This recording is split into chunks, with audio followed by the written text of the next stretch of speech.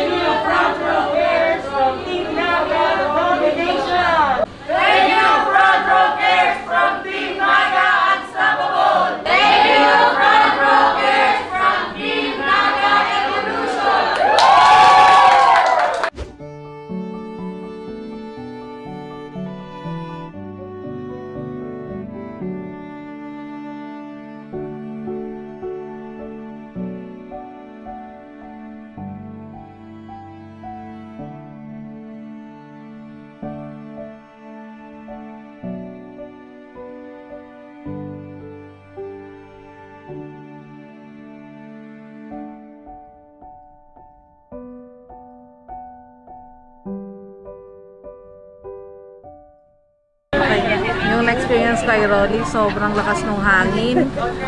Um, actually, mahirap kasi walang trabaho. Siyempre, walang makakain. Ngayon, may tinutulungan din kami. Lalo na yung tita ko kasi walang wala. Kaya mahirap sa amin na yung wala, tapos yung parang wala rin pakalam yung iba. Ah, Sunday ng madaling araw. Hindi pa bumabalik hanggang ngayon. Hindi pa. Ano po sabi na Inaayos na daw. Sa sobrang dami daw na, na natumba na poste, yun medyo matatagalan. So, first time pa lang po na si Frank Row yung bumabagi po. Ah, ah, first time. Kaya tingnan mo, nagpundaw gaga kami.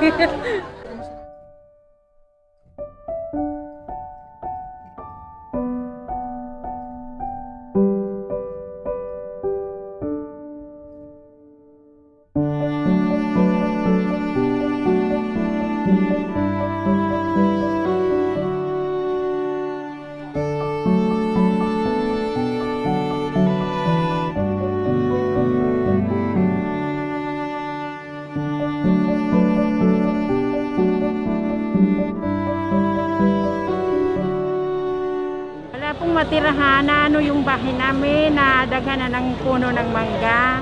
Walang kuryente, maayos lang nag-ano kami ng yung kandela. Tapos, Dila. Opo. Maraming maraming salamat po sa front row na binigay sa amin ng tulong. Nagyan ko lang ng trapal yung bubong namin para may masilungan po kami. Ay, maraming salamat po sa pantro na nagbigay ng tulong po sa amin.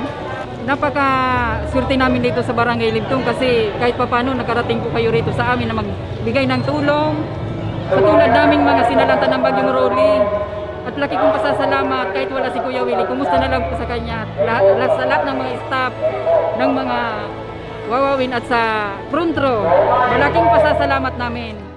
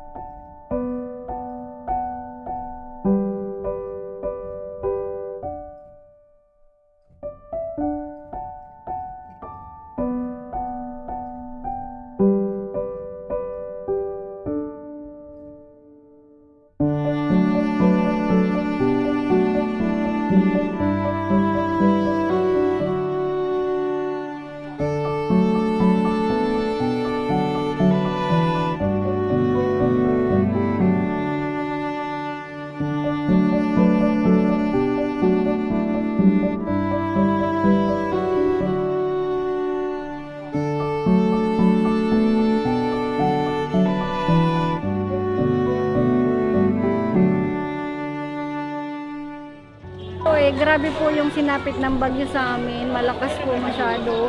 Lahat po ng lubungan namin, tinal, ano, ni, niya nang naubos po. Tapos wala po kami, na, nag, natutulog po kami sa mga ilalim lang po ng trapal kasi nga po naubos yung bubong ng bahay namin. Tapos po sa pagkain, medyo nahihirapan po kasi wala pong, yung asawa ko po kasi nag pedicab driver. Halos lahat po kasi nahihirapan din pong wala pong sumasakay kaya konti lang po yung kita namin. At saka po sa mga palayan po naubos yung mga palay. Halos nabasa po nung bagyo kaya wala po kami medyo ano makain masyado. Aside kay front row, sino pa po ang tumulong sa inyo? Wala pa po, kayo pa lang po. Sa inyo pa lang po namin front row pa lang po. Thank you po, thank you po sa front row. Ra- Maraming salamat po front row. Part ba ang gamit mo? Kailangan mo.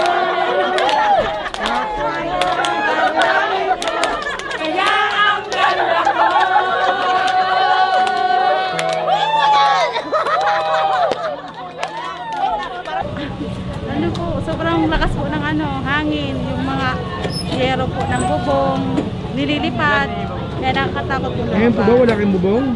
Ay, opo, wala po kami bubong, na, tanggal po lahat. Paano niyo po naitatawid yung buhay niyo ngayon ate? Ay, sa ngayon po, ano, ano, ano po kasi yung sitwasyon po namin ngayon, sir, ano, patay po kasi yung ano ko, yung biyanan ko.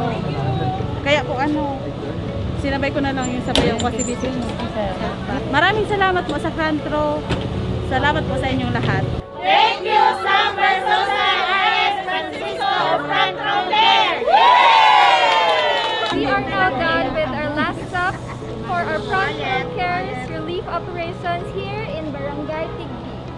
Want to say maraming maraming salamat po to Sam Versosa and RS Francisco for providing us with the opportunity to serve our fellow kababayans dito sa Bicol. Maraming maraming salamat po, Front Row Cares.